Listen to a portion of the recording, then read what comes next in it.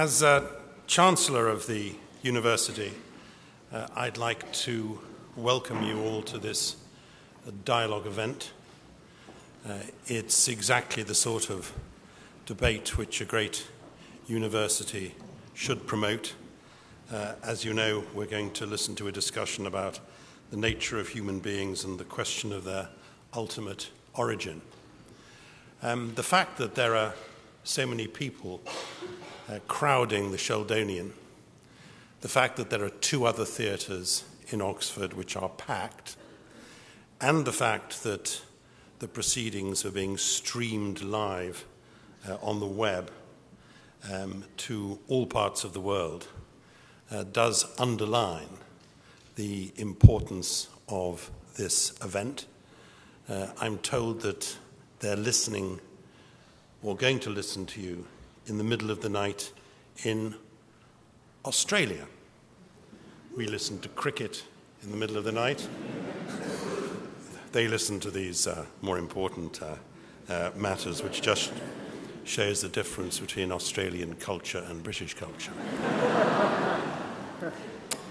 um, obviously, the fact that there are so many of you uh, here uh, this afternoon uh, is largely because of the eminence uh, of our uh, debaters, um, Dr. Williams, Professor Dawkins, and Sir Anthony Kenny, not only um, one of Oxford's great philosophers, but perhaps even more important, the former Master of Balliol.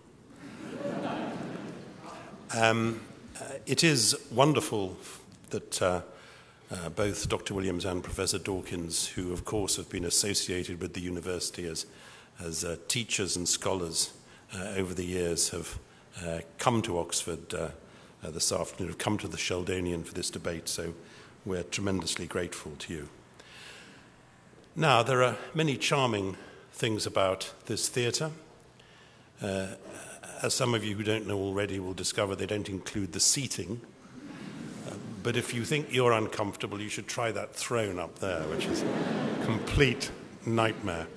But one of the charms is, of course, um, the recently uh, renovated um, ceiling, uh, which shows, uh, uh which has a depiction allegorically of the descent of truth on the arts and sciences, which is, of course, what we're going to experience uh, during the course of the next uh, um, uh, hour or more.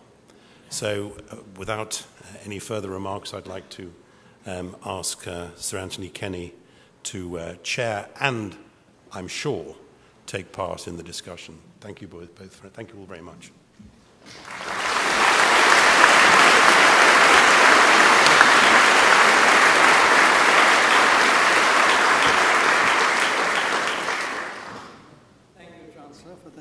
Kind words.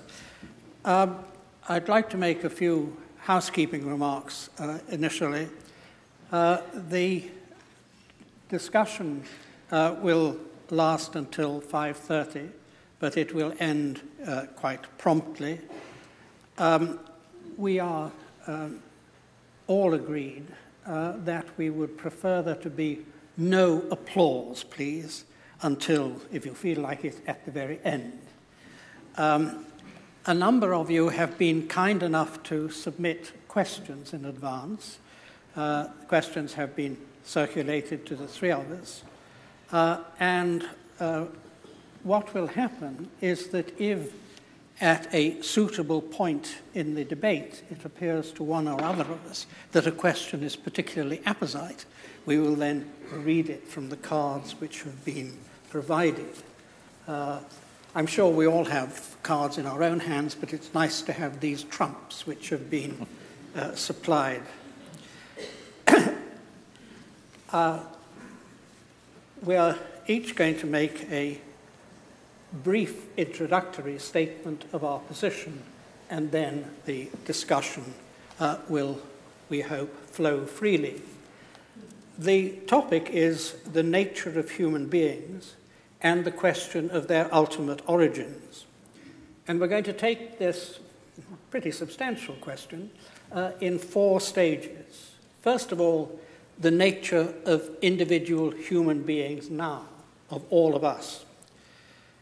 Uh, secondly, the origin of the human species as a whole.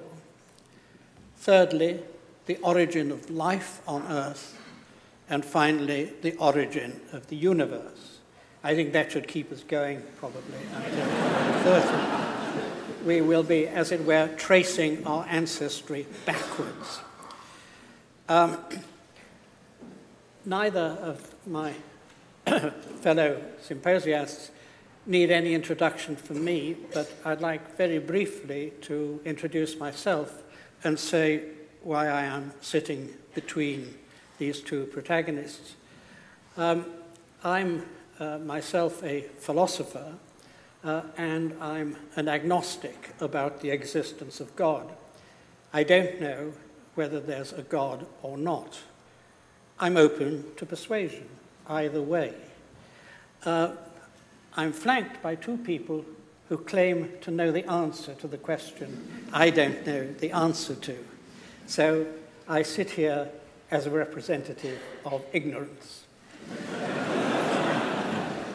Uh, Archbishop, may I ask you to introduce yourself? As well as being Archbishop of Canterbury, um, I've, over my career, taught theology and some philosophy in universities, particularly in this university and in Cambridge. Um, I have a long standing interest in the history of theology and the history of what we rather unhelpfully call spirituality, that is, how Christians pray and understand their praying, and also a long standing interest in the arts in general, and literature and drama and poetry in particular. So some of that will probably creep into what I say later. Do I say any more at this stage about the, the subject matter? Uh, perhaps, yes, yes I think. You, Well, let me then, um, to kick things off, venture a sort of definition. Human beings, it seems, are the only bit of the universe we know about that talks about the universe.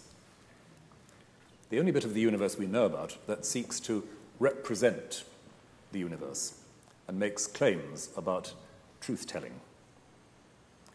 And because of that, we, as part of that universe, are able to affect the ongoing life of the universe in certain ways, some of which we understand clearly and some of which we don't understand at all clearly. There is in our understanding and our knowing an element of what you might call feedback into the life of the universe. And I guess that one of the things we might want to talk about is what kind of difference it is that human beings make, the nature of the freedom we exercise, or independence, within that universal order. But within that, I would say human beings as language users have a particularly powerful central role, and that's a question to our understanding why and how do we use language? the relation of language and consciousness in this making a difference to the environment we share. It's not a matter of absolute discontinuity with the animal world around us, far from it. But if we are looking for distinctives, this seems to be the area where we look. And just to conclude a very brief position placement, it does seem that we live in a universe which, while we would all have difficulties, I suspect, with calling it anthropocentric is anthropogenic. It's the kind of universe that has produced conscious language using subjects, that is, us. And part of what we're looking at today is exactly how we understand that, whether there is a question we can answer about the origins of such subjects in the universe. So I think I'll leave it there. Thank you. Well, first, I'd like to say what a privilege it is to be uh, discussing with Archbishop Williams. Um, I was very interested in, in the way you began, and um, it reminded me of two things which Julian Huxley said. Uh, one was evolution has become conscious of itself, and he meant in humanity. And the other is a poem that he wrote uh, which I can't remember all of it, but um, it, it begins The world of things entered your infant mind to populate that crystal cabinet.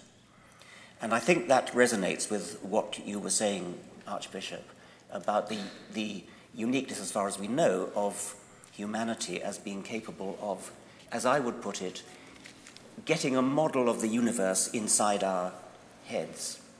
And I, no doubt we'll come back to this, to this idea. I think it's extremely interesting.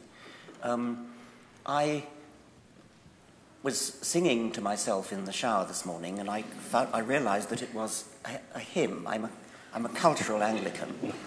Um, I'm not going to sing it now. I, I will, I will just, um, say, I, I, will just say it. Um, it. It's, it's a hymn that we probably all know. Um, it is a thing most wonderful, almost too wonderful to be. I'm afraid the hymn goes off the rails rather after that point. That's when it picks up. um, but um, I think that um, it is a thing most wonderful, almost too wonderful to be, that at least on this planet, and possibly on billions of other planets, but certainly on this one, the laws of physics have conspired to make the collisions of atoms get together to produce nothing that any physicist would have dreamed of, but to produce things like us, to produce plants, trees, kangaroos, uh, insects, and us, to produce collections of matter, collections of atoms that don't just obey Newton's laws in a passive way, they don't obviously disobey them, but not in a passive way, but which move and jump and spring and hunt and flee and mate and think, at least in our case, um, which is a quite astonishing thing to have happened, and we know since 1859 how it happened. Uh, and it's almost too wonderful to believe, but we have to believe it because we now know it's true. It's almost too wonderful to, to believe that um, the laws of physics, working through this very remarkable process that Darwin called natural selection, has produced these gigantic collections of apparently purposeful beings, which look overwhelmingly as though they had been designed. They carry a, a terrific illusion of design which fooled humanity until the middle of the 19th century. Um, now, I think that Darwin's achievement in doing that uh, was not only a magnificent achievement in itself, but it was a a triumph of science which can be generalized to science generally because once Darwin had solved the problem of how you can get big, complicated, purposeful, and apparently designed things out of very simple beginnings, once Darwin had solved that problem, it then gives courage to the rest of science that the same thing can be done in general and that we shall end up understanding literally everything as springing from almost nothing, or according to some modern physicists, even literally nothing. And I think that that is a, a truly wonderful thought. When I say almost too wonderful to be, it's a thought that is extremely hard to comprehend and believe, and many people have great difficulty in believing it, and resort to uh, what, in my view, is, is an unsatisfactory uh, resolution to the problem, which is to say, an intelligence did it. That seems to me to be an evasion of the, of the question, an evasion of the scientific responsibility. To understand how things come about, how complicated things come about in terms of, of um, simple things. So I'll stop there. For Thank you.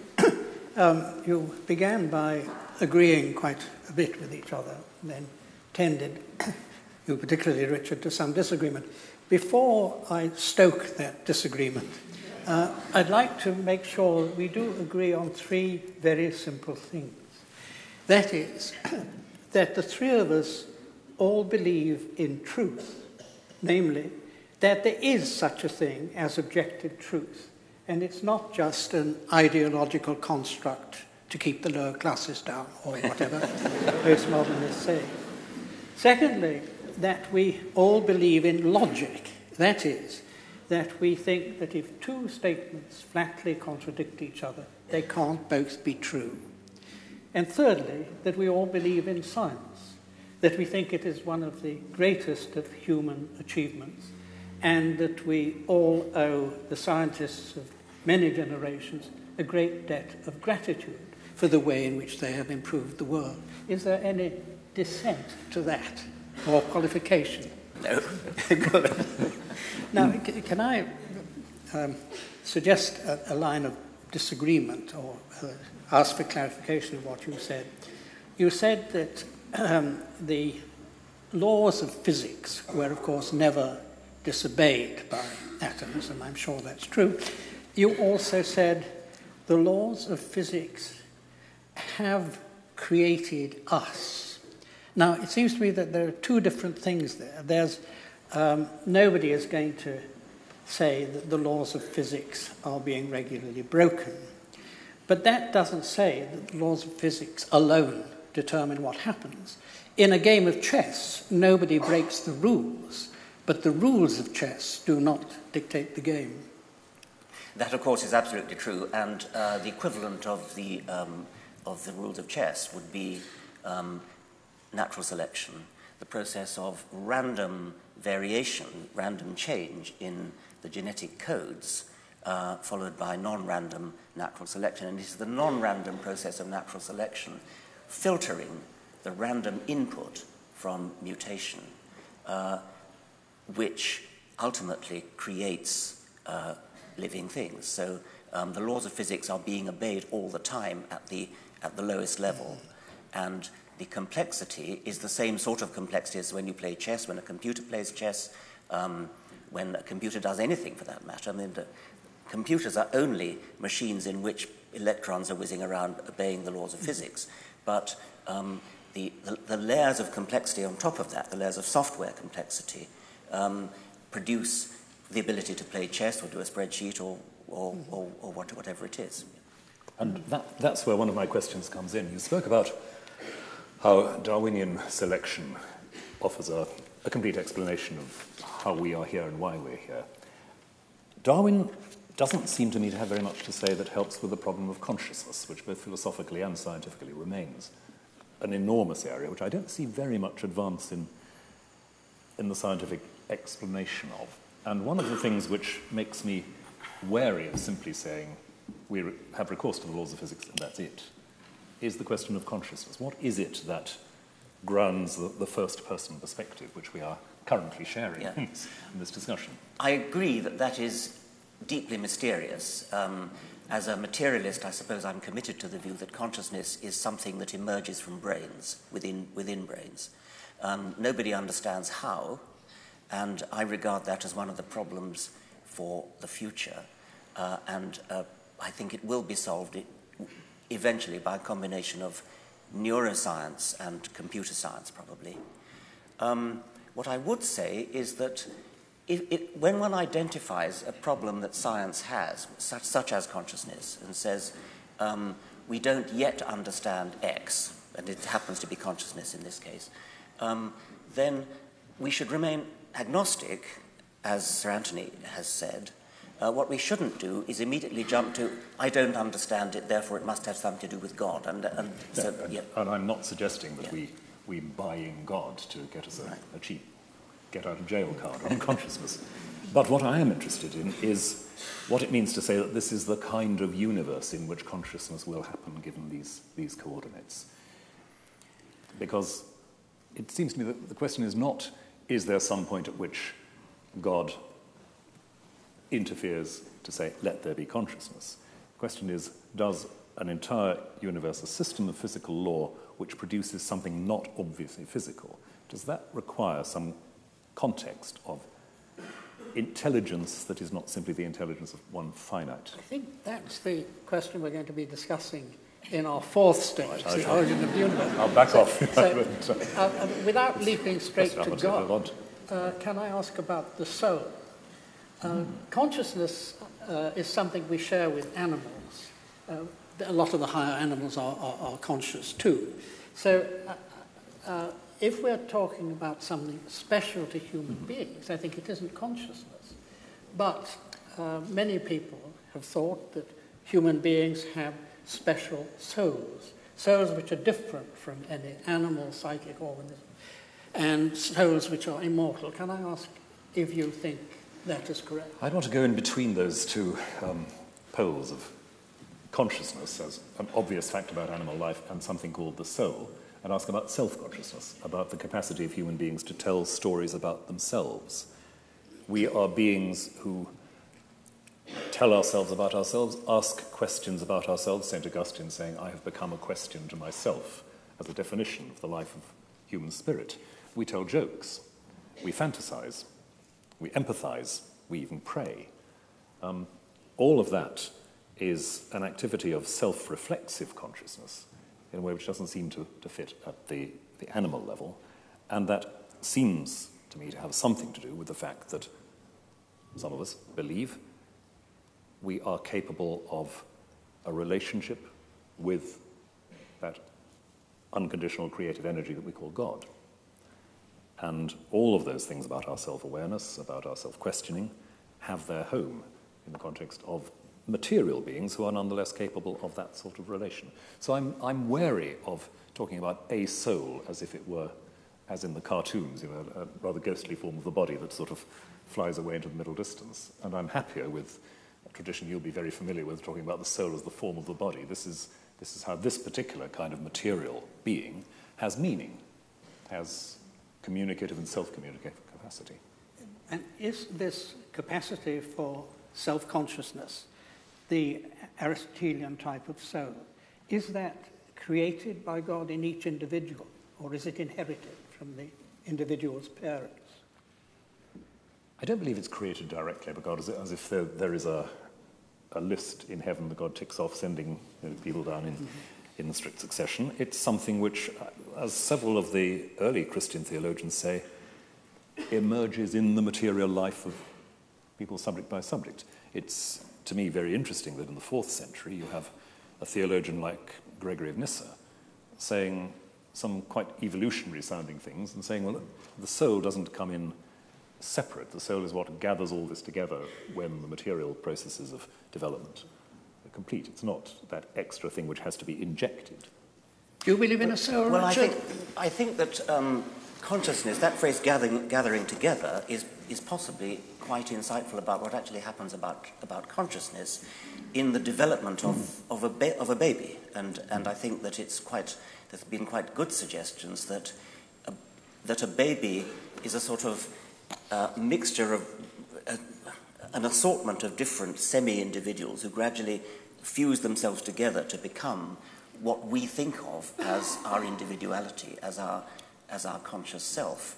And I think there are some philosophers who feel that consciousness should be seen as a kind of illusion um, to, to bring together all the different aspects of our, of our mind.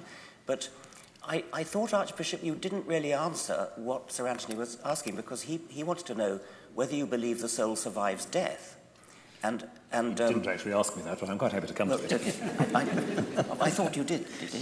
Uh, at, at, the very beginning, but you're, you're quite right, I didn't in the last minute, But please answer.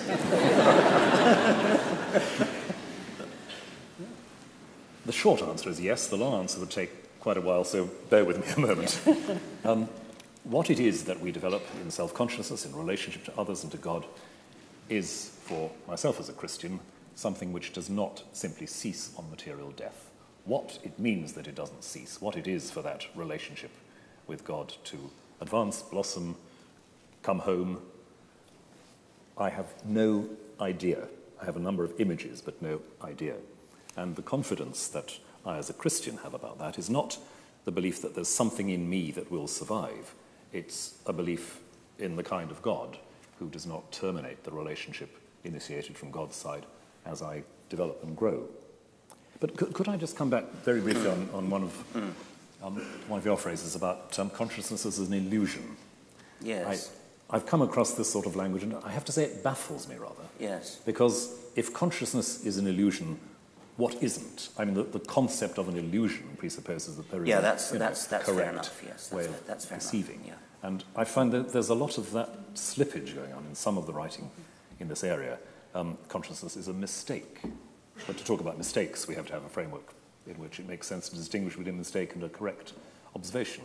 Consciousness is an illusion, but we need, therefore, a distinction between illusion and correct perception, or even, well, I could go on, but you, you see the point. Yes. And to say that consciousness is something emerging to resolve the problems, if you like, of a discrete ETE perception is not quite the same as saying it's an illusion, or to say with Daniel Dennett that uh, there is no evidence for consciousness. I scratch Yes. my head profoundly that one.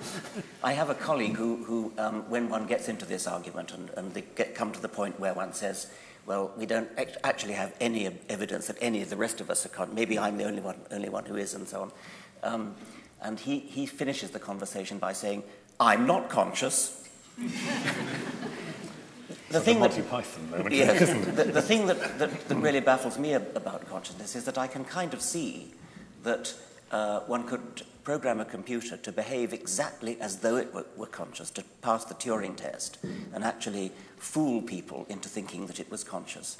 But I still have trouble believing it actually would be, and yet I think I have to be committed to the view that it, that it, that it would be. Um, I think it's sad that you you're have to- committed to yeah. that view. I think it's rather sad that you're committed to that view. Well, why? Computers are human tools. They, they, they, they can't even add two and two together. They are uh, tools that are used by human beings, by human programmers. They can't even tell the time, and they wouldn't know what to do it if they did. Put it, put it another way, if I may. Um, computers are, and I'm a scientific illiterate here, computers are binary systems, essentially, aren't they? That, that's what Uh, they work at, on. the, at bottom they are, yes, but that may not be a very helpful way to No, put it. but if, if they are fundamentally binary systems, does that mean that the, the way the human mind operates is invariably and always reducibly binary, or are there other? Oh no, um, it's just a it's just a technical convenience that they're that they're binary. I mean, what, what matters is the software, which it, which builds upon the the binary events that are going on at the base. But then the question is, isn't it, whether uh, the binary-based system of a computer can, given its dependence on input, given its dependence on certain fixed processes, whether it could move towards a state that was not, like our, our minds, able to operate in a non-binary. No, I think I think it's a red herring with the, the binary. I mean, you could you could have a quaternary computer or, a, or an octal computer. I mean, it, it's just accidental that it happens to be an engineering convenience that computers are, are, are binary. Once you get into the realm of, of software, you can forget about there being binary. Perhaps I could follow up Rowan's point by asking uh, whether you think a computer has free will and whether you think human beings have free will.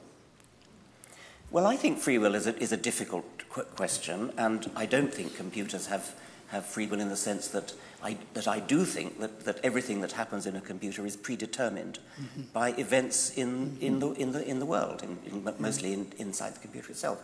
Um, so, in that sense, computers don't have free will, but in that sense, we probably don't either. Uh, I'm interested you say that because a lot of people misunderstood your first book, The Selfish Gene, uh, to say that you believed in gene determinism, that everything was determined for us by our genes and therefore we didn't have free will.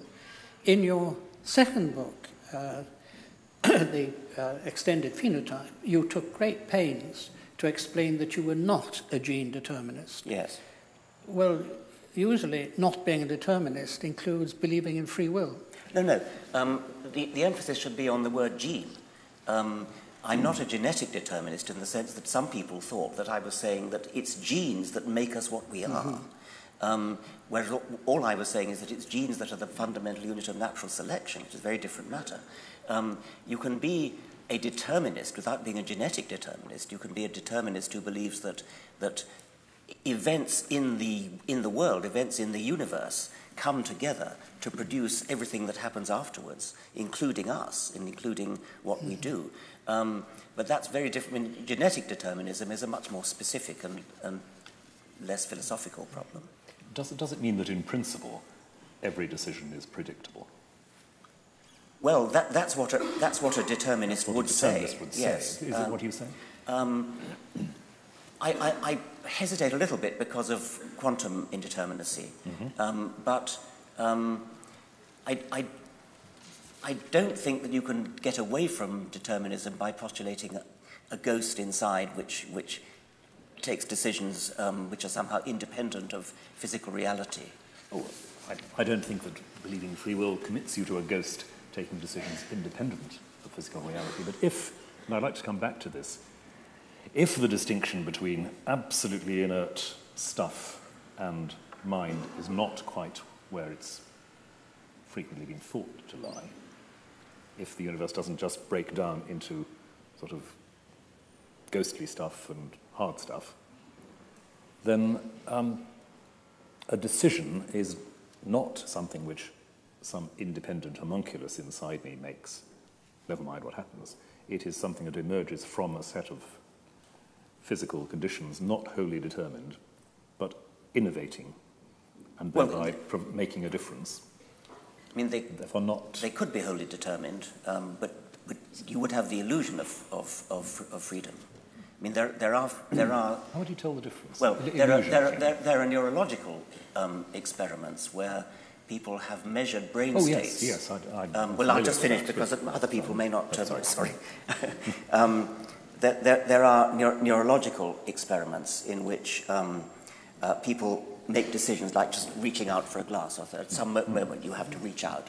Um, and they think that, that I, I think that I take the decision now.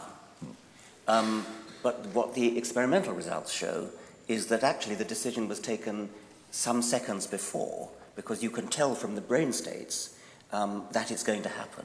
Well, uh, I'm not sure what that means, but I think it, it, it probably means, or might well mean, that um, when I think i have taken the decision, when the, when the illusory ghost in me, which I think of myself as, as me, takes the decision, it, it has already been taken. One, one of the things which makes that experiment, to my mind, a bit less than clinching is, of course, that it relates to fairly small scale, short term, rather uninteresting decisions. I would be interested, seriously interested, to find if you could, if you could map that onto deciding who to marry, who to vote for, well, what we usually mean by decisions that are significant. I suppose it's rather difficult to do experiments on that kind of exactly. Um, yes. yes. exactly. Um, and so, p- perforce, j- just as you know, geneticists have to work on peas because it's easier to work on. Than, I mean, I, I think you, you have to reduce the problem down to something that's experimentally tractable. But can we bring back to our commitment to logic for a yes. Moment? If I can just press this one, because again, it's an interesting conundrum to me. There's a, an old sort of chestnut of philosophical argument which effectively says if you were to tell me that it is foreordained that I will pick up the glass of water in the next five seconds, I can actually refuse to do so. Now, my refusal may be predetermined, but you, you see that there's, there's, a sort of yeah. regress of uh, mm.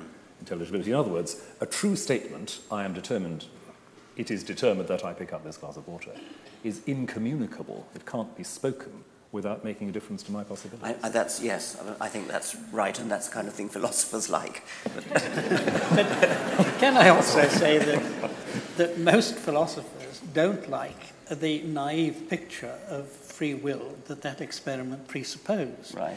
I mean, it, it was a, an idea made popular initially by Descartes and by David Hume, and a long tradition of empiricist and rationalist philosophers, uh, that there was a, a, sort of soul inside uh, that in, in which mental events occurred, which were the causes of the bodily events. And it's that picture which that experiment presupposes. But since uh, at least the time of Wittgenstein, right, Rowan and I both admire, uh, and Gilbert Ryle, who was my teacher here many years ago, uh, it's commonly thought that there are very sound philosophical reasons for denying that, uh, that that is the way things work. It's very much, it's surprising that you should admire it because it is very much the ghost in the machine picture. And you're saying, ah, the machine works before the ghost does. Whereas I think most philosophers nowadays would think the whole idea of constructing body and mind like that is quite wrong. But why doesn't it destroy the idea of, determ- of, of, free, of free will? Uh, because uh, it only shows the order of events in an act that is undetermined may not be what you would have expected if you had the false philosophical idea. Well, I'm not so, a philosopher, and that'll be obvious. Um, uh, perhaps you should have invited a philosopher to. to uh, perhaps we should move from our question one about human beings. Mm. But could I just round it off with uh, mm. taking up something that you mm. said, right? you said uh, when you were talking about possible immortality mm. uh, that as a Christian you thought this and hmm. that. So do I take it that that means that you think the immortality of the soul survival of any kind is a matter of faith and not something that can be proved by reason, as uh, many philosophers in the past thought it could? Broadly, that's right. And I, I can't think of any um, strictly philosophical arguments that would help here. And although it's interesting when people talk about near death experiences and things that apparently suggest consciousness operating from a point of view outside the body, I don't think that settles a theological point. I, I would embed talking about my hopes for eternal life in the specific Christian discourse revelation that I, that I accept. So I, I wouldn't be looking for a knockdown argument about immortality there. Yeah. Well, may we move on to stage two, the origin of the human species? Uh, and I'd like to start it off by reading one of the questions which was sent in um, by Dr. Robert Gilbert, fellow and tutor in biochemistry, Magdalen College. And he says, Do you think that human scientific knowledge can be wholly explained by biological evolution? Uh, would you like to start? I don't even understand what that means. I mean, um, presumably he means the existence of people like you uh, who have well, a lot of I mean, if, if, it, if, it, said, if he, if he said, do, do I think that humans can be wholly explained by, or the existence of humans yeah. can be so, I, I, would say yes. Um, but scientific knowledge, well, scientific knowledge is something that humans have in their brains. Um, so I suppose the answer is yes, I can't think what else you'd need to explain humans, or indeed any other animal, than biological evolution. Um, and I presume we all accept biological evolution. Yes. I'd, I'd, guess that the question might be about some of what we've just been talking about, consciousness and so forth, the, the yes. capacity of uh, a materially based mental system to represent accurately or adequately, in some, some sense, the structure of the universe. Is that something which biological evolution, in a strict sense, can, predict? Well, I, I think it's very plausible that, that um, biological evolution would indeed give rise to brains which are good at analyzing things, good at synthesizing things, and good at, at, um, at packing knowledge away. But it's undeniable that humans, that the human brain does things which, were, which are far beyond what you would expect mm.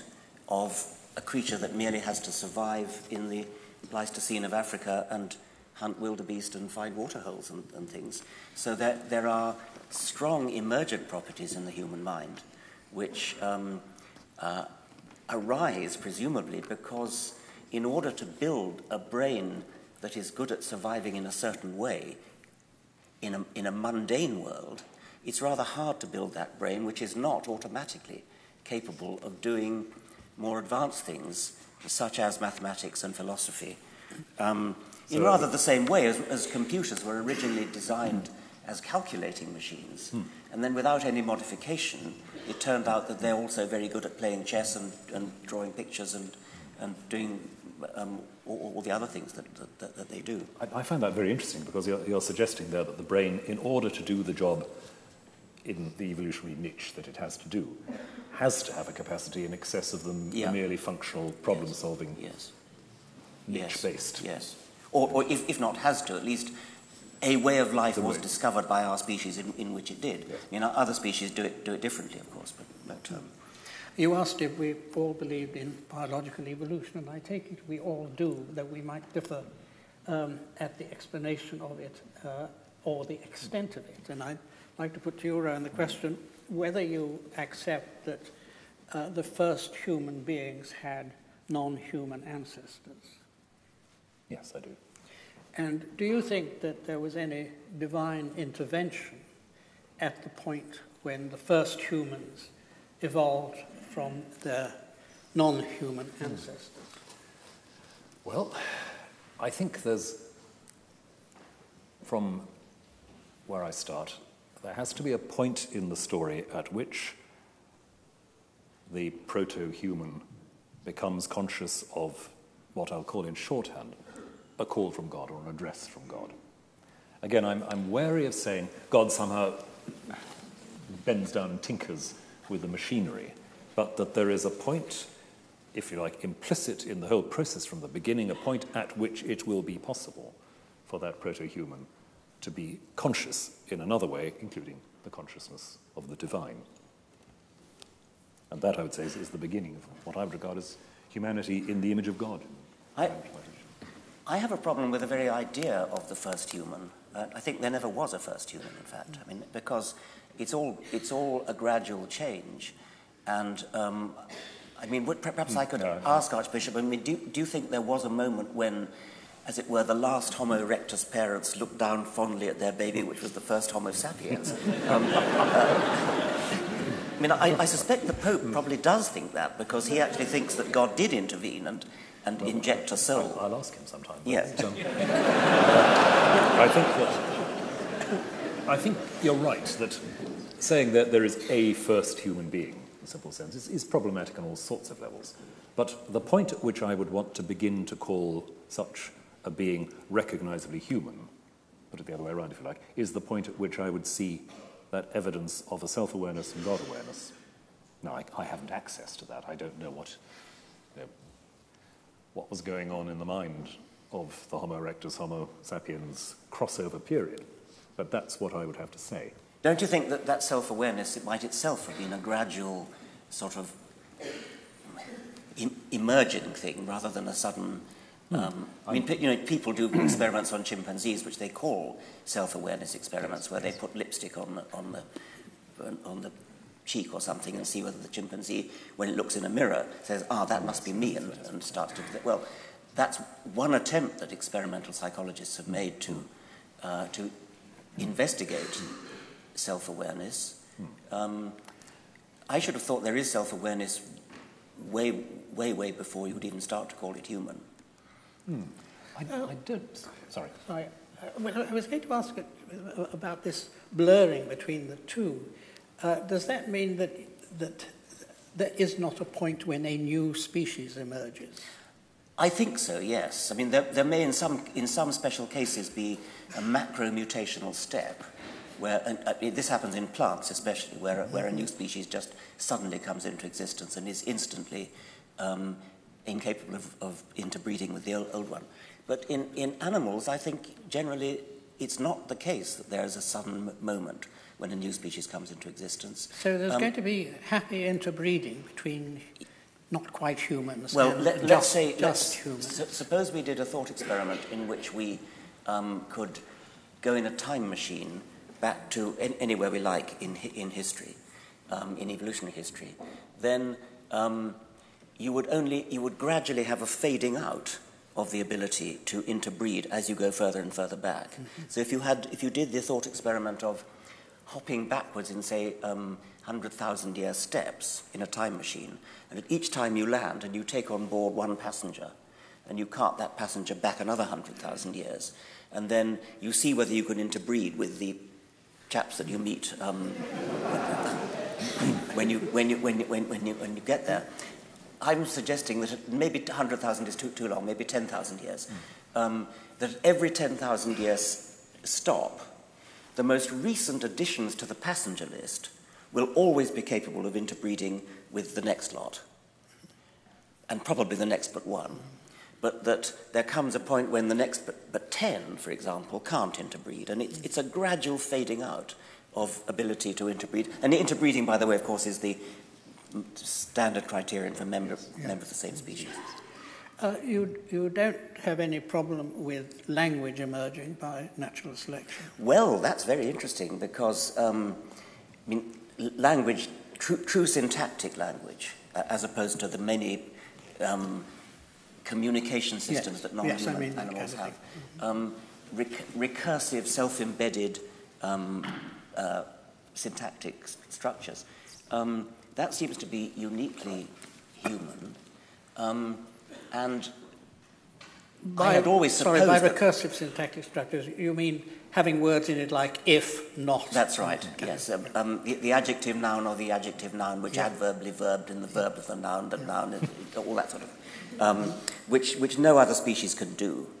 Um, now, there is some very interesting evidence that um, I think there are two or three genes, I've forgotten what they're called, uh, which have mutated so that they're different in, in us from chimpanzees. There are lots of other genes that are, but these particular ones are of great interest because when humans, mutated humans, mutant humans who have reverted back to the chimpanzee state, can't talk. And so the suggestion is that what was required for language to evolve in, in humans was that at some point, this could have been a rather sudden moment when a particular mutation occurred, um, which uh, enabled humans to, um, to use recursive syn- syntax. And if that were true, it would be a, a remarkable example of a, a sort of major step in, in ev- I mean, there really could have been a, a moment when the child could talk and the parents couldn't. It's a problem who the child talked to, of course. But That, that, that seems to me an enormously important question who the child talks yes, to, because um, in, in ordinary physical evolution, there's no difficulty in thinking that a mutation can produce an animal with a longer leg than uh, other members I of the agree, yeah, species. yeah. I mean, you can measure the leg, but the idea that just one member had a language, given that language is a social community effort, Yes. I find very No, you can't really imagine that it would have had a language. It would have been, I mean, there, there have been other suggestions that the ability to do um, hi- hierarchical um, embedment, if we can call it, started before language and was used in, in controlling. Um, Pres- Presumably, the child would just have shouted at its parents until they shouted back. In, uh, yeah, I mean, if you, if, you, if you listen to those, those um, chimpanzees who have been taught uh, various versions of human language, like, like sign language, um, claims are made that they are doing it properly, but, it, but I think the consensus is probably that when Washoe, the chimpanzee, says, please give me a banana, what she's really saying is, me, me, me, banana, banana, banana, gimme, gimme, gimme, um, which I think that the mutated humans can do too. Um, it's just that they, what, they, what they can't do is, th- this is the house that, da- da- da- da- da- da- da- that Jack built.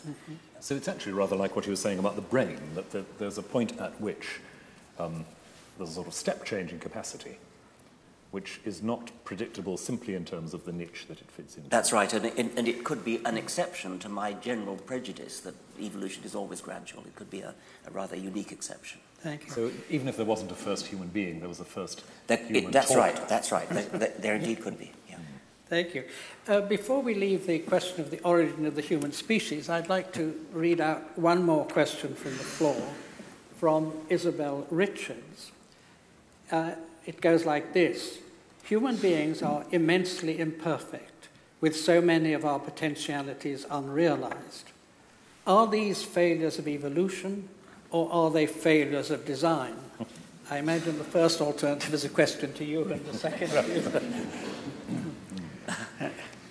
Well, um, there are numerous imperfections in not just the human body, but in, in um, many animal bodies.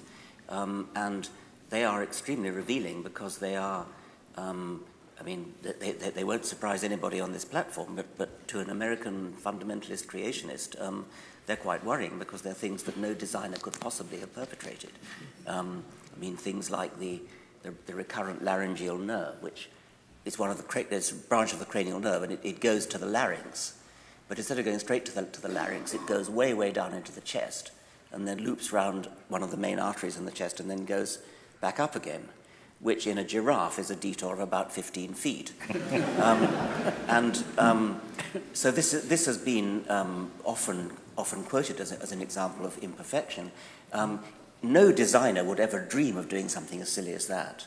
But of course, if you understand it in terms of evolutionary history, it makes perfect sense because in our fish ancestors, the most direct route between the, uh, the, the, start of the nerve and its end organ was indeed south of the um, artery that it, that, it that it still is. And as evolution progressed, as the neck got longer, the fish don't have necks, as the, as the neck got longer in their descendants, the marginal cost of another millimeter of detour was less than the marginal cost of the immense embryological upheaval it would have taken to have jumped it over.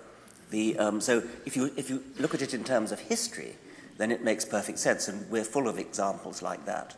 and rather serious ones sometimes, like um, the imperfections of our, the way we, so many people have back pain is because we're walking upright when, when our ancestors uh, walked on, on all fours. But I don't know if that's what the questioner means because she says there's so many of our potentialities unrealized. And I, I, that, obviously, nothing that I've said has anything, any bearing on that. I, I, I think there are, there are two kinds yeah. of question going on here, at least. Um, imperfection and incompletion. Um, unrealized potentiality is about incompletion, isn't it? It's about the fact that there are things we might, as individuals or even as a species, conceivably do, but we can't or don't. Um, and I don't see that that's a matter of failure because in any system where we grow through time and develop through time, whether as individuals or as species, that's just part of what it is to be temporally conditioned, to live in time, one thing after another. Failure is, I think, another kind of question, isn't it? And it's yes. the, the, apparent, um, hmm, what, inefficiency or irrationality, in a rather loose sense, that you've just described mm.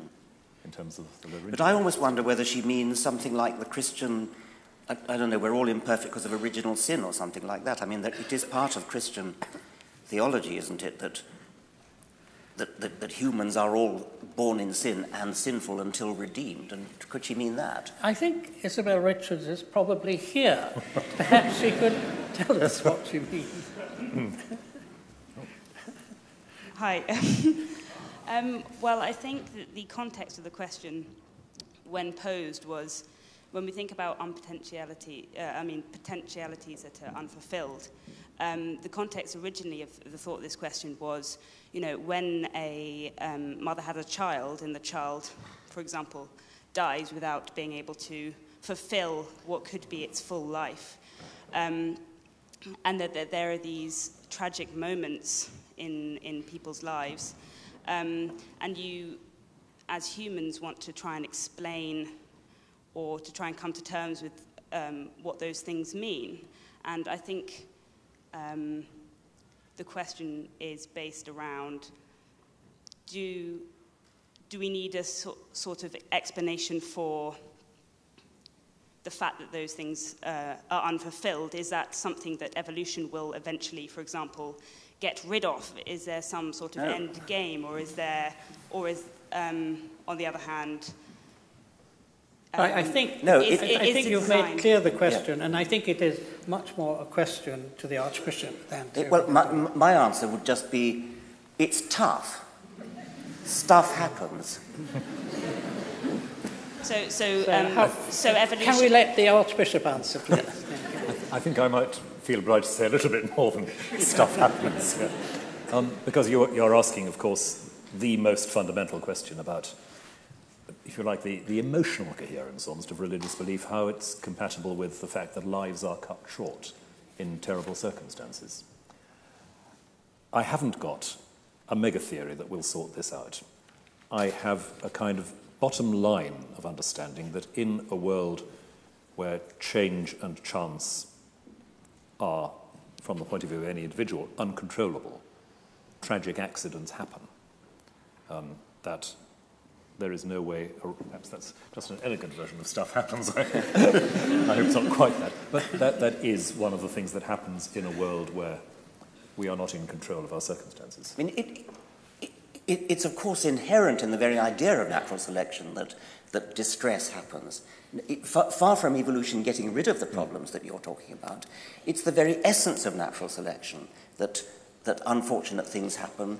Um, death, non random death before reproduction, is what natural selection is all about, and it's tragic. And, and the, the, if, if, if, one looks around the world and sees the sheer amount of suffering that there is in the animal kingdom as well as, the, as in, the, in, in the human, um, it, it, it is exactly as you would expect it to be if it were just the blind forces of, of nature acting, if, if there were no um, overarching purpose in the, in the world. It's one of the strongest points one can make, and Darwin himself said it, uh, that I find it impossible to believe in um, something like, believe that the, the ichneumonidae, that's a family of wasps who torture their victims in horrible ways, um, could, be, could be created by a beneficent deity, some, something like, like that.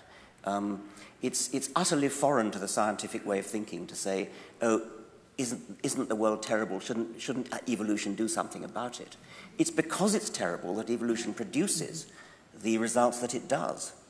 So this really is much more of a problem for you, isn't it? I think it is. And also, the, also the, the, the point that Richard made about, as it were, design faults. I mean, mm. our eyes having been put in backwards and that kind of thing. Mm. They make, but perhaps you don't believe that the universe was actually designed.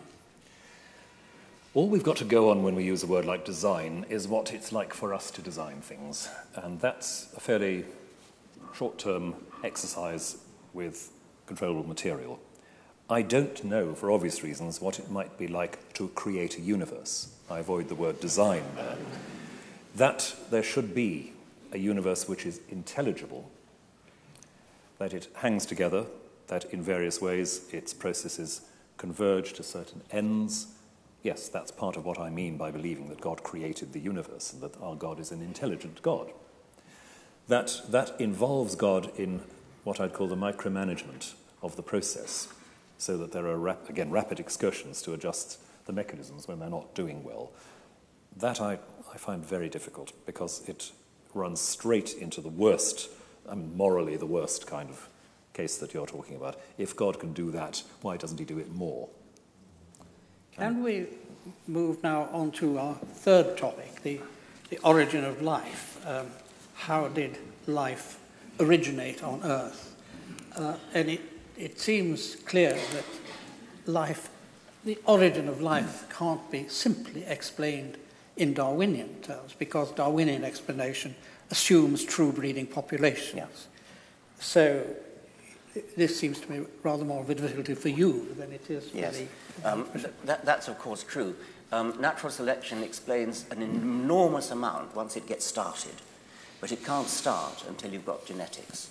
And so there has to be a kind of protogenetics before there's, before there's life, meaning that there has to be self-replicating molecules, is probably the best way to put it.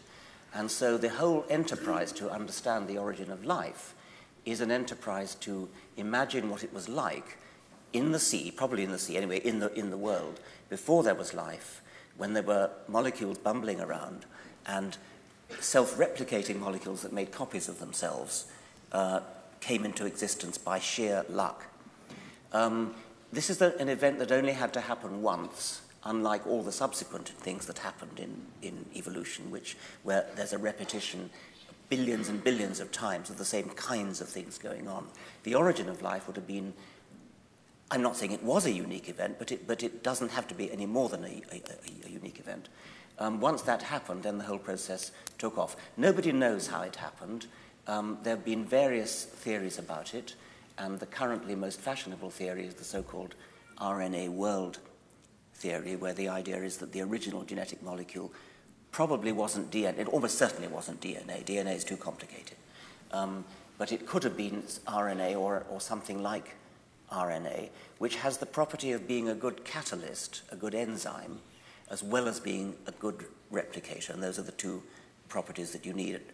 D- DNA is a very good replicator, but a terrible catalyst. And protein is a good catalyst, but a terrible replicator. RNA is reasonably good at both. And so it's possible that uh, it all started off with RNA, and then the twin functions diverged, and DNA, as it were, usurped the replication function, while, while um, protein usurped the, uh, the, the, enzymatic function. That's the most fashionable theory now. Um, I would like to say a little bit more about, about how improbable it might have been. I said it required sheer luck. And um, there, there is an argument which I've put before that it could have been an absolutely stupendous stroke of luck. And this is quite an interesting argument. It, it, it uses the anthropic principle. Um, since we know that there are probably about 10 to the 22 planets, at least, in the universe, the number of opportunities for life to evolve staggers the imagination. It is conceivable that we are alone in the universe, and actually, quite a lot of people think we are and would, would want to believe we are. If we are alone in the universe, then it follows that the origin of life on this planet was a quite stupefyingly rare and improbable event. And that would be a very odd consequence because what it would mean is that when, we, when chemists look for a theory like the RNA world theory, when they look for a theory, they're not looking for a plausible theory at all. They're looking for a highly implausible theory. Because if it were plausible that life could originate on a planet, then the universe would be crawling with life.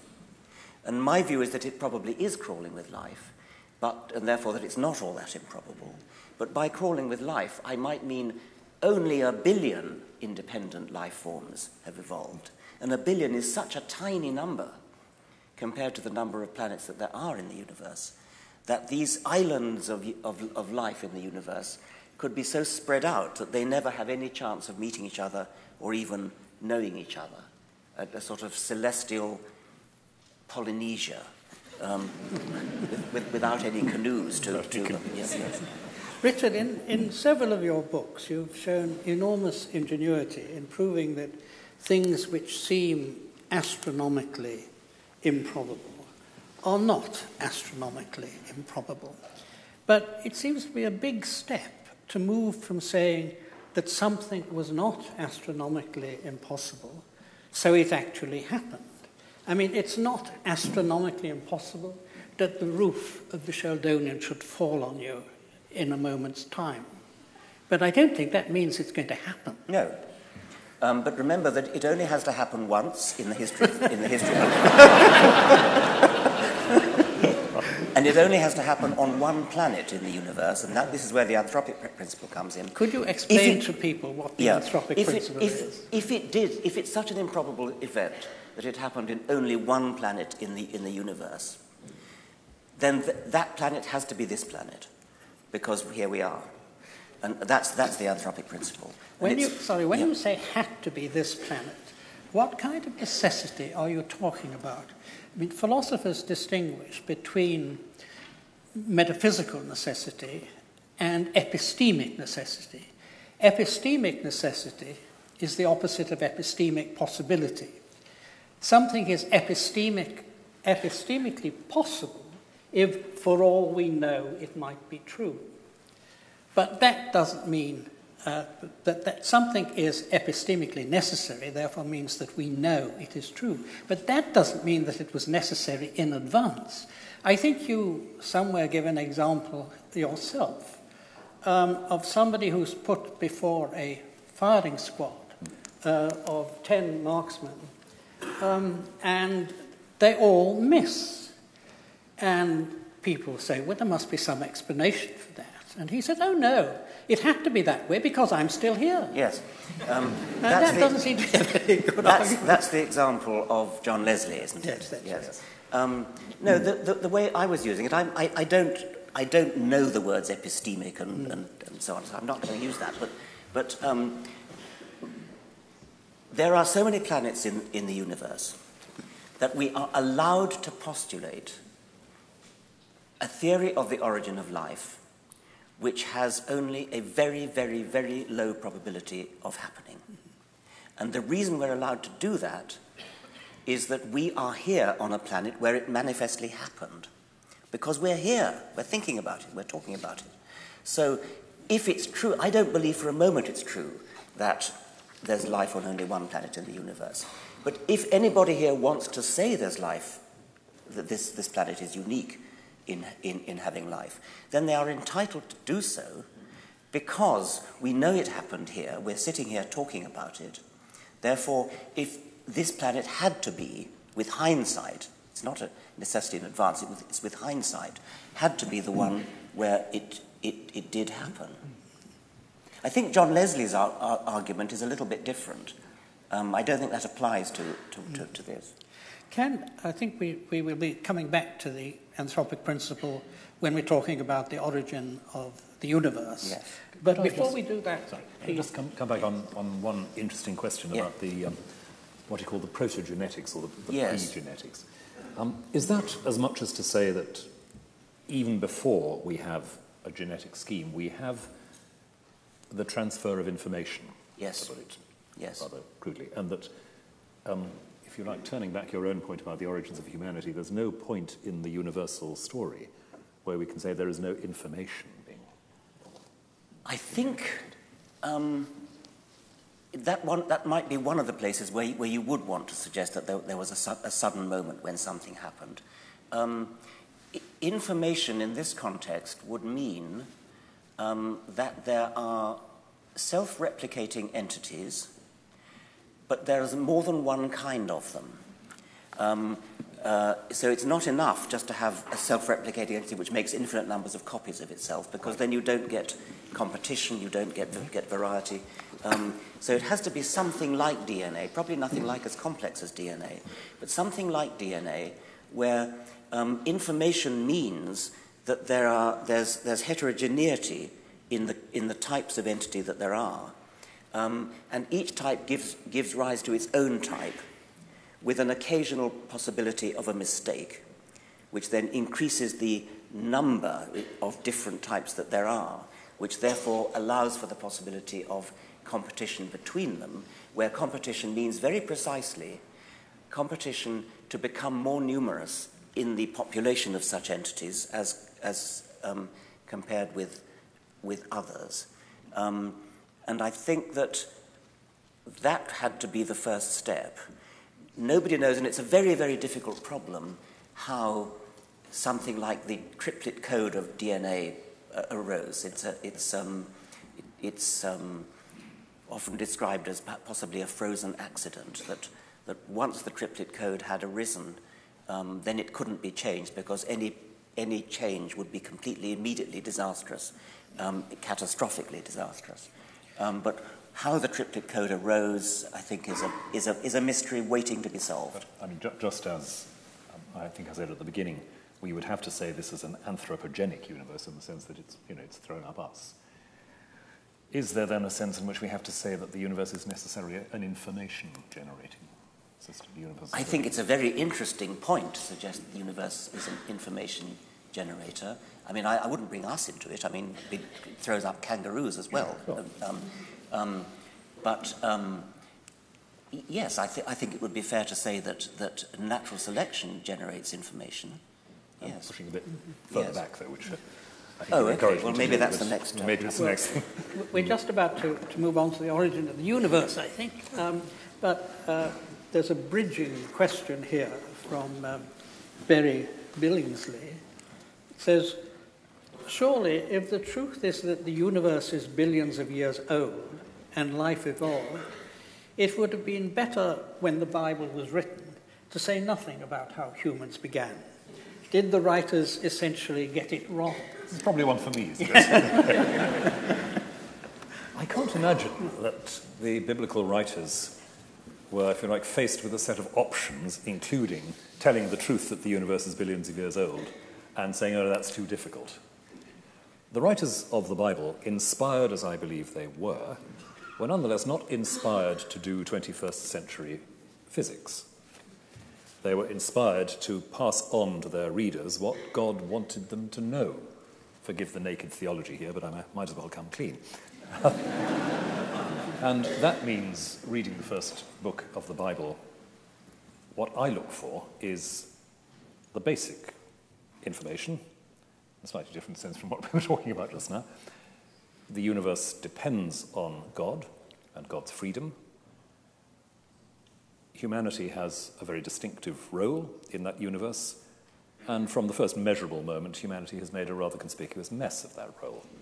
that's where the Bible begins, that's, that's what I need to know, so to speak. And I don't think that um, it makes very much sense to talk about the writers of Scripture getting it wrong in the sense that there was lots of information available and they happened to get on the wrong bits of it. But I, I wonder what, when you say humans got it wrong, I mean, presumably. Oh, original sin. Yes, quite. Um, but I, I, I'm baffled by the way sophisticated theologians who know perfectly well Adam and Eve never existed still carry on talking about it as though it had some profound wisdom to impart to us um, in an allegorical sense. Or, or, I mean, that I presume is what you, what you mean. Pretty um, much. It's, again, something which isn't just a 21st century invention, but some, it's a way people have read Genesis from very early on. But I don't understand why you really bother, because when you think back to who wrote Genesis, they were not, there's no reason to think that they possessed any particular wisdom or knowledge. Why would you want to waste your time reinterpreting Genesis to make sense of it in the 21st century? Why not just stick to 21st century science? If I want to, an- to answer 21st century scientific questions, then I stick to 21st century science. If I want to understand my moral and spiritual position in the universe, I reserve the right to go back to Genesis. Yes, but, but why, don't you then, why don't you then talk about moral and, and spiritual pro- problems as you wish to talk about them? What, how does it help to go back to, the, to, the, to what somebody wrote in whatever it was, 800 BC? In, um... Well, presumably Rowan thinks that in a certain sense they were written by God, not by these humans. I mean, and since, well, since, he, since he, has been sporting enough to bring God into the discussion, uh, and uh, you, I think, uh, Richard, believe you have a disproof of God's no, existence. No, I don't. I don't. That, you were wrong when you said that. I, I, I constructed in the God delusion a seven-point scale, um, yeah. of which one was I'm, I, I, know God exists. Yeah. Uh, seven was I know God doesn't exist, and I called myself a six. Why don't you call yourself an agnostic then? I do. Um, but, but, I, but I think it's a. I think it's you are rather, described as the world's rather, most famous atheist. well, not by me. not by me. But can I ask you to, to right, spell a, out your I'm argument? 6.9. Your, your Boeing. but you, you have your Boeing 747 argument yes. to show. I mean, I, I, highly improbable. I believe that when, when you talk about agnosticism, it's very important to make a distinction between I don't know whether X is true or, or, or not, therefore it's 50-50 likely or, or, unlikely. And that's the kind of agnostic which I, which I don't, which I'm definitely not. Um, I think one can place estimates of probability on, on these mm-hmm. things, and I think the probability of, of any supernatural creator existing is very, very low. So let, let's say I'm a 6.9. Mm-hmm. Um, but that still doesn't mean that I'm, that I'm absolutely confident, um, that I absolutely know, because I don't. But I was uh, asking for your reasons for the high probability. Okay, the, the reasons for the high probability are that um, complicated things, things that appear to be designed, don't just happen. They, as Darwin showed us, and this is what I meant right at the beginning when I said that, that Darwin's achievement gives us confidence and the confidence that he, that he gives us is because he showed how you can go this wonderful thing, almost too wonderful to, to be true, this wonderful thing that you can go from extreme simplicity, where there is no design, where there is no complexity, and after four billion years, you end up with us. And that's an explicable process, it's an understandable process, we understand it, it works. Now, that's a, an astonishing thing to have, to, have, to have happened. If you then go back and say, oh, yes, but I expect there was a God at the beginning anyway, I mean, that, that, that completely undermines the whole rationale for doing it. Why bother to do it if you're going to, having devoted, having explained how it took four billion years to, to develop complexity and the illusion of design? It's a betrayal of everything that science stands for to suddenly go back and say, oh, yes, but there was a God at the beginning anyway who started it all off, or something of that, of that sort. Consciousness is part of it, intelligence, design, complexity, the elegance of, of, of life, all these things come late in the universe. They come after a long period of billions of years of evolution.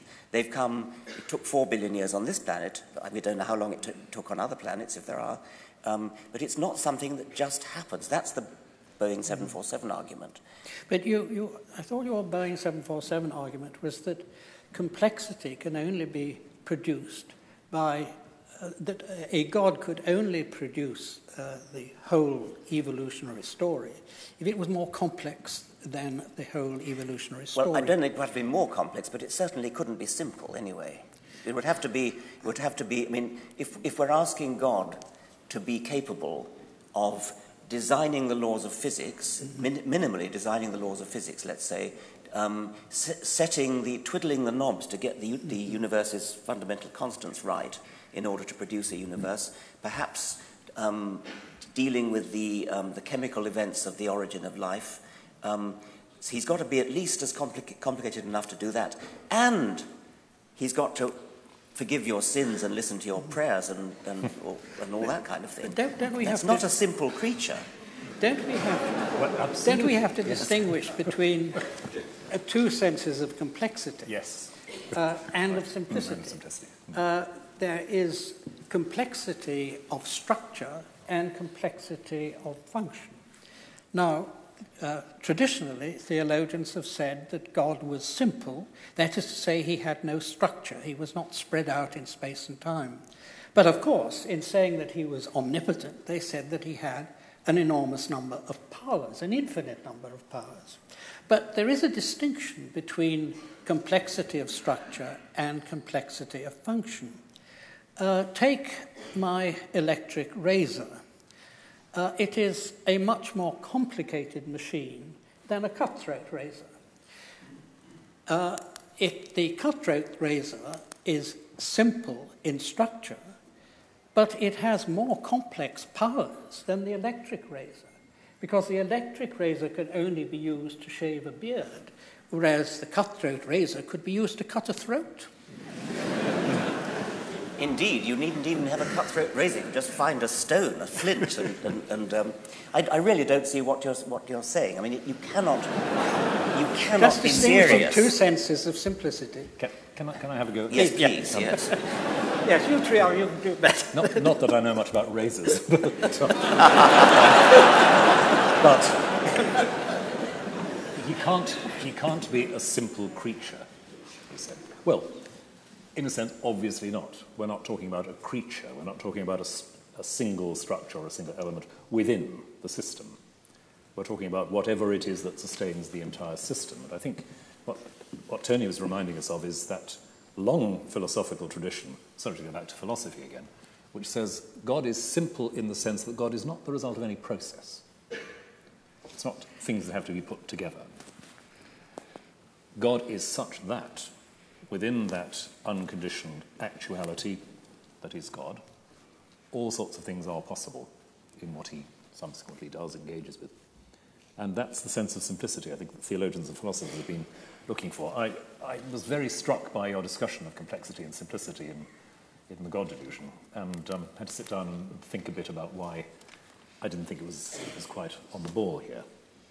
But I don't think the language of simplicity as just defined, is, is nonsense. If you're talking about something which does not come to be, it's the sense in which you might say that the, what David Bohm calls the implicate order of the universe is simple. That is, it's not the result of a process. It is what it is, with all the complexity in it. It's not something that has been put together or brought into being.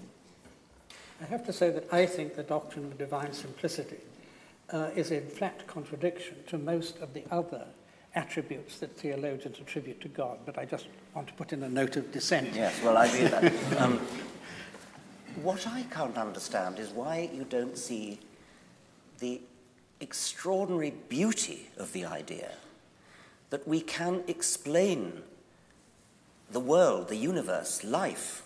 We can explain it from, well, physicists are now telling us, telling us starting from literally nothing. I mean, that is such a staggeringly elegant and beautiful thing. Why would you want to clutter up your worldview um, with something so messy as a god? Because the starting from nothing is, is so baffling. Interesting you say clutter, because I, I entirely agree about the elegance and beauty of what you're talking about. Um, I was, if I may say so, I was happy to quote you in a Christmas sermon a couple of years ago on, on this subject, uh, because, if I May say so? You write wonderfully about exactly that elegance and that beauty, and it's a delight to read. And I find I'm, you know, inspired by that. I don't see clutter coming into it at all for the simple reason that, as I say, I'm not thinking of God as an extra that has to be shoehorned somehow into this. Which is exactly how I see it. I mean, uh, yes, well, that's where we disagree, isn't it? Could I uh, just ask one final question before handing over to Professor Hedley Brooke? Uh, you, it should seem to be uh, attracted by the idea that there may be multiple universes, other, many other universes, and this is at one point uh, something you offer as an explanation of the very uh, striking fact of the cosmological constants being so fine tuned that uh, we are able to live in a universe governed by them. Now, it seems to me that intelligent design on the one hand and multiple universes on the other are exactly on a level. They are both metaphysical hypotheses because these other universes cannot be amenable to scientific investigation. Otherwise, they'd be our universe. And I'm not against metaphysics, I'm a metaphysician myself. But it does seem to me that if one ought not to teach intelligent or even mention intelligent design in science classes, one ought not to teach or even mention uh, multiverses. Well, there are no doubt physicists here who will, will, will give us the, the It's not just that multiverses are invented for the purpose of explaining why um, the physical constants appear to be finely tuned.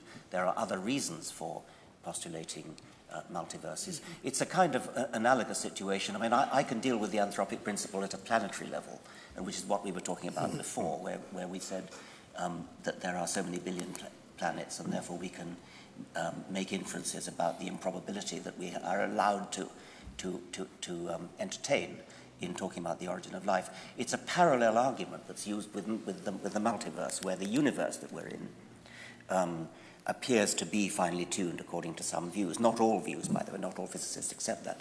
Um, and therefore, in a rather analogous way to, the, to how, how, I use planets, there are some physicists who postulate um, many universes in which um, each universe has its own versions of the physical laws and, and constants, and then by the anthropic principle again, um, we have to be in the kind of universe which is capable of giving rise to us, and therefore it's no surprise that, that, we, that we are. Um, that, that's only one way in which physicists mm-hmm. deal with that, with that uh, question. Um, there are other ways that other physicists do. I think we're about to have to wind up. I just ask you, Rowan, if you would like a final word before we ask Professor Brooke to.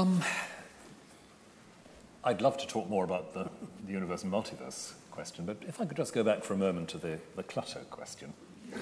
um, because I, I do think you've put your finger on one of the things that does seriously divide us. For me, the, the elegance and the beauty you talk about is an elegance which is, if you like, simply framed by the sense of a God who is, if you like, let's, let's call him the combination of love and mathematics for these purposes, producing this sort of elegance, um, eternally, unconditionally. And I feel for that vision of the universe in the hand of God very much as you feel for what you've been talking about in terms of the elegance and beauty of the scientific explanation. That is, for me, at least as much worth contemplating, enjoying, not just investigating, but enjoying as the scientific picture you've sketched. Thank you very much. Thank you, Richard. I think Professor Brooke is going to say a few words to close the session. Chancellor, guests, colleagues, ladies and gentlemen, as joint convener of Oxford Sophia Europa Group, I'm honoured to propose this brief vote of thanks to our distinguished speakers. They've surely met our highest expectations for serious dialogue on a subject that in the blog sphere so often attracts the angry and the opinionated. Charles Darwin declined to discuss humankind in his Origin of Species, declaring it a subject too riven with prejudice. In a culture that now contemplates the prospects for post humanism and transhumanism, prejudices still abound. How, fre- how refreshing then to witness an engagement of the quality we've experienced this afternoon. And how appropriate that it should have taken place in a university with which each speaker has been intimately associated, and where the proper study of humanity requires the insights of many disciplines. As a historian of science, I might perhaps be permitted a moment's reflection on how high profile events of this kind leave their mark. As with the debate between the Bishop of Oxford, Samuel Wilberforce, and Thomas Henry Huxley, such events produce delicious anecdotes and later mythologies that shape public opinion long afterwards. When a former Archbishop of York, Dr. John Habgood, once engaged with Professor Dawkins, a newspaper headline the following day famously read, Apes have souls too, says primate.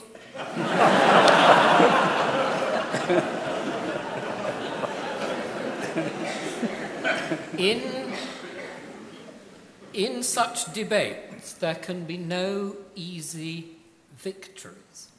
Of that contretemps between Wilberforce and Huxley, it was reported at the time that each had found a foe worthy of their steel and made their charges and countercharges very much to their own satisfaction and the delight of their respective friends.